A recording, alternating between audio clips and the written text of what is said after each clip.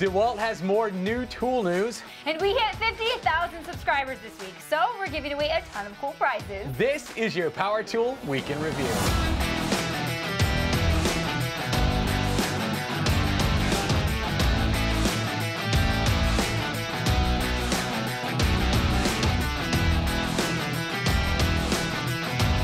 This episode is brought to you by Ohio Power Tool.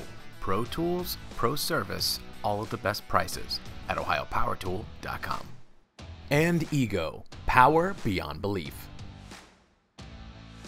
Welcome back, Power Tool fans. I'm Rob. And I'm Sarah. It's October 2nd, 2020, and this week we hit 58,000 subscribers here at Belts and Boxes. To celebrate, we're giving away a ton of new tools from Ego, Skil, Milwaukee, and even a $250 gift card from ohiopowertool.com. We'll tell you how to enter in a moment, but first, your Power Tool news. Now you have to watch our show. Suckers. Every major tool show that Sarah and I attend each year was canceled in 2020, obviously due to the pandemic, and now one of the biggest is already making changes for 2021. The World of Concrete, which takes place every February in Las Vegas, was able to happen just before COVID shut everything else down this year. As more and more shows canceled this fall, the question about the viability of a World of Concrete 2021 was weighing on industry minds. This week, the WOC announced that their 2021 show would move to June.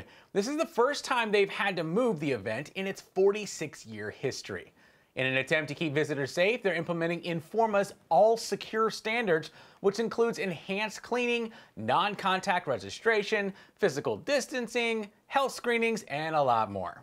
When WOC 2021 takes place, they'll be one of the first shows to occupy the Las Vegas Convention Center's $980 million West Hall expansion, which will add 1.4 million square feet to the existing 3.2 million.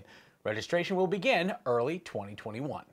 Ryobi continues to push its way into pro territory with their new line of HP tools with the 3-inch cutoff saw. But is it pro enough? Tim from Shop Tool Reviews put it up against the Milwaukee M12 saw to find out. Most tool fans will know that Ryobi is owned by TTI, who also owns Milwaukee. So this is already a battle of, I, I don't know, step tools? Step tools? Is, is that a thing? Yes, it is. Okay, sweet. So, coming from the same family, you'd expect them to be similar, and on paper they are. But the Milwaukee is 12 volt versus Ryobi's 18 volt. And the Ryobi is, well, a Ryobi, which makes this a very interesting matchup.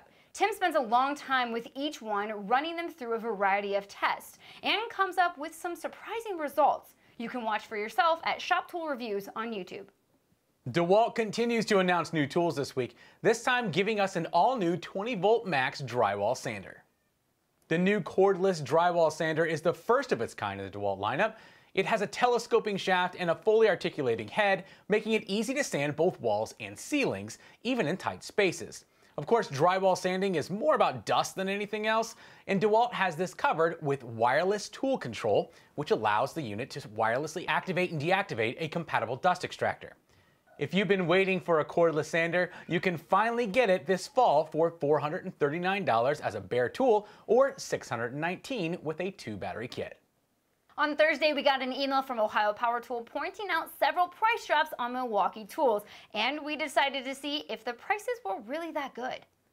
We were glad we looked. There are a ton of gems on this list. Packout dollies that have always been $90 online are available for only 59 bucks. Their hard hat USB lights dropped from 100 to only $50. The $70 Packout 10-inch tote, 40 bucks. Need M18 batteries? The XC 6.0 and CP 3.0 combo pack dropped from $250 to only $149. OPT tells us that the stock is limited on these deals, so get over there fast. We'll provide a direct link to the deals in our description below. So we hit 50,000 subscribers this week. Woo! Yes, indeed. And to celebrate, we reached out to our sponsors and put together a very special prize package. Four prize packages to be precise. That's right. Four lucky winners will get one of the following prizes. First up, from Ego, the 650 CFM blower. From Skil, we have a 12 volt drill driver and digital level, a wall mount red line laser, and a 20 volt brushless reciprocating saw kit. From Milwaukee, we actually have one of the brand new top offs, which are so new, we're not allowed to send it to the winner until after the third episode of Pipeline goes live on October 15th. And our fourth winner will get a $250 gift card to OhioPowerTool.com. Now there are two ways to get entered. One, leave a comment on this video telling us which prize you'd want, no guarantees, and why. For a second entry, we'll link to a post on Instagram where you can comment as well. We want to thank all of our sponsors for making 50,000 a reality for us. And most of all to you for watching every week so we can do what we love. Yep, watching ourselves on screens. Doing the tool news. That's what I meant. Okay. Good luck, everybody. It's time again for our construction industry news, courtesy of the Construction Junkie. Wood has never been cheap, but recently, thanks to our favorite global pandemic, the price of lumber has been sky high, and it doesn't look like it's coming down anytime soon. COVID has definitely slowed production, but when you stack that with devastating wildfires in the Northwest and imported lumber tariffs, wood ain't cheap. That's why your $2.70 2x4s at Lowe's have been $7.50. And as the prices rise, the NAHB is calling for President Trump to ease up on tariffs placed on imported lumber from Canada, but who knows if that'll happen. The wildfires are not just destroying forests, but the industry is expecting logging bans, closed railroad lines, and additional sawmill shutdowns in the Northwest. All of this adds up to really, really expensive wood. If only we could build homes with hopes and dreams. Let's talk about something more delicious. As it gets colder outside, having a hot meal to warm you up on the job site is important. And thanks to LunchEAZE, it's now easier than ever. This is the LunchEAZE rechargeable automatic self-heated lunchbox. Add the leftovers of your choice, power up the ridiculously unnecessary full-color LED screen, punch in your lunchtime, and two hours before, it will automatically start heating up your food. Clever idea, but at $150, good lord, you have to want hot food. In the promotional videos, it's pretty clear that people in many different workplaces will love this thing, except Andrew here, who has to watch Jessica enjoy her warm meal while he's left wondering why his mom sent a bologna sandwich. It's because your mom doesn't love you, Andrew. Whoa, what the heck? To warm up your own lunch and get the rest of your construction industry news, head over to constructionjunkie.com. Who hurt you?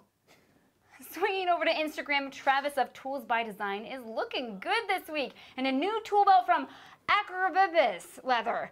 No clue if I'm saying that right, but I already want one. Our buddy Thibaut of French MTL Carpentry got his hand on the new Milwaukee M12 hatchet and immediately got to baking cookies. And Joe, the Canadian carpenter, is putting together a comparison of six and a half inch circular saws, starting off with a Makita, Metabo HPT, Milwaukee, and that's just the brands that start with the letter M. He's determined to answer the question, can a six and a half inch circular saw make the cut? Be sure to follow Joe to find out. Last week we talked about Home Depot and their new Milwaukee product leak, which you can watch right here. Thanks to Ego, Skil, and Ohio Power Tool for sponsoring this episode. Guys, don't forget to like and subscribe so you don't miss a thing. We'll see you next week.